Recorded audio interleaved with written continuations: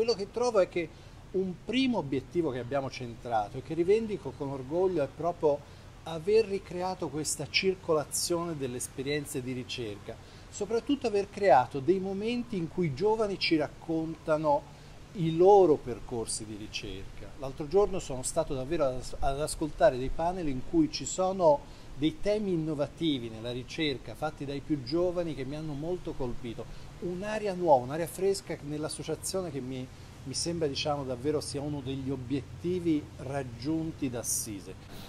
Se ripenso alla mia esperienza personale, al mio percorso degli studi, eh, io credo che aver incrociato all'epoca delle dimensioni così partecipate, associative, in cui fosse possibile incontrarmi con gli allora giovani della mia generazione, penso che sarebbe stato di molto aiuto, di grande aiuto per la mia maturazione scientifico-professionale, che naturalmente è avvenuta all'interno dei network di ricerca che, con cui mi sono incrociato, ma quello che trovo straordinario dell'esperienza che stiamo facendo in SISA, che soprattutto per i più giovani, è la contaminazione. Prima era molto più facile rimanere dentro lo stesso circuito di ricerca, con gli stessi eh, riferimenti culturali, scientifici, accademici. Qui invece abbiamo questa contaminazione che io trovo molto utile.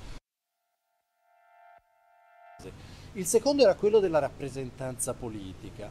Io credo che tutti noi abbiamo la consapevolezza che il mondo dell'accademia, il, il modo in cui viene valutata la ricerca scientifica sia in una fase di grande trasformazione, che ci sia bisogno di una voce critica, riflessiva, ma anche come dire costruttiva e questo è un altro degli obiettivi che si era posto la nostra associazione, come dirò oggi all'Assemblea dei Soci, credo che su questo terreno possiamo davvero incidere. Una buona associazione eh, culturale, scientifica, accademica deve essere anche in grado di porre al, eh, al centro dell'agenda pubblica i temi su cui fa in maniera efficace eh, ricerca.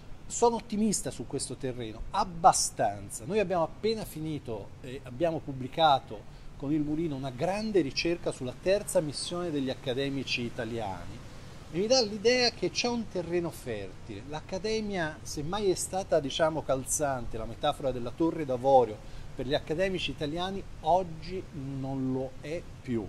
Facciamo tantissima terza missione in forme plurali la sociologia economica è già dentro questo processo, dobbiamo rinforzare, mettere a sistema, rendere ancora più visibile quello che già stiamo facendo.